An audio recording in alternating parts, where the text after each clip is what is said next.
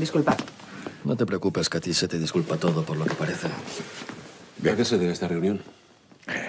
Como sabéis, hoy ha llegado el gran día en que me case con Digna. Ni que decir tiene que para mí es un día sumamente especial. Es un día que va a marcar un antes y un después para nuestra familia y para nuestro negocio. Para negocio el que van a hacer los Merino con todo esto. Se deben estar frotando las manos. Jesús, deja hablar al padre. Mucho le pides.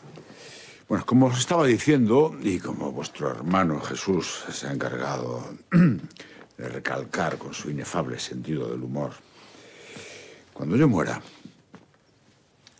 la familia de mi futura esposa pasará a controlar la mitad de perfumerías de la reina. Por mi parte ya sabe que no hay ningún problema. Puedes dar tu opinión también, ¿eh, Marta? Sé que piensas lo mismo que yo. ¿Qué sabrás tú ni qué sabrás? ¿O acaso hay algún motivo por el que debas callar tu opinión?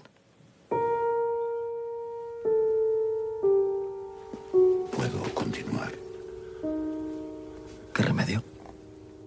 Perfecto.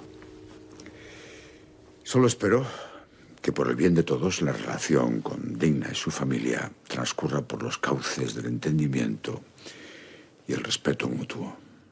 Pues diga ya lo que tenga que decir y déjese de preámbulos, ¿quiere? Va a haber algunos cambios en el reparto de responsabilidades de la empresa. ¿A qué cambios se refieren?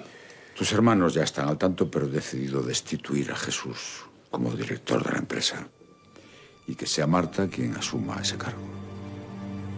Lo que todavía no sé es si ella está dispuesta a aceptar el puesto o prefiere marcharse a Barcelona. Cuente conmigo para dirigir la empresa.